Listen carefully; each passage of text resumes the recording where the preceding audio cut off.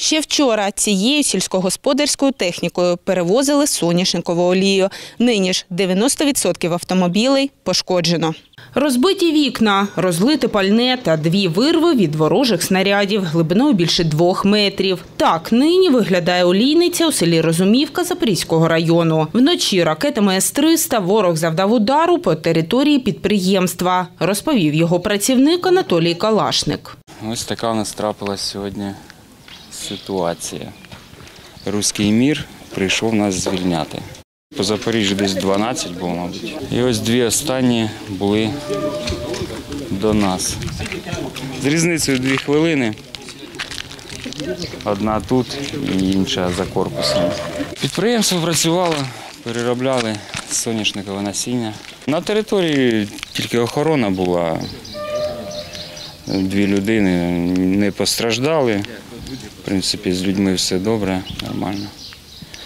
Постраждали тільки метал. Ось ви бачите, е, одна одиниця, дві, три, чотири, п'ять, шість, сім. Там, кстати, ота жовта там хлопець був е, на момент прильоту, і вона знаходилась прямо тут. Е, В той час, коли був прильот. І він якось народився в рубашці за що цієї машини, що її перенесло туди, перекинуло.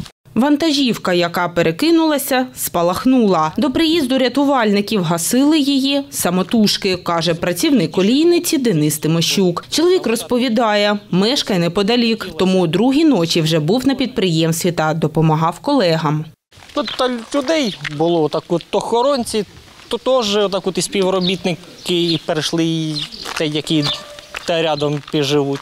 Страшно, ви знаєте, і якось в, і в цей момент не думав, що і що воно буде, як воно буде, чи ще буде.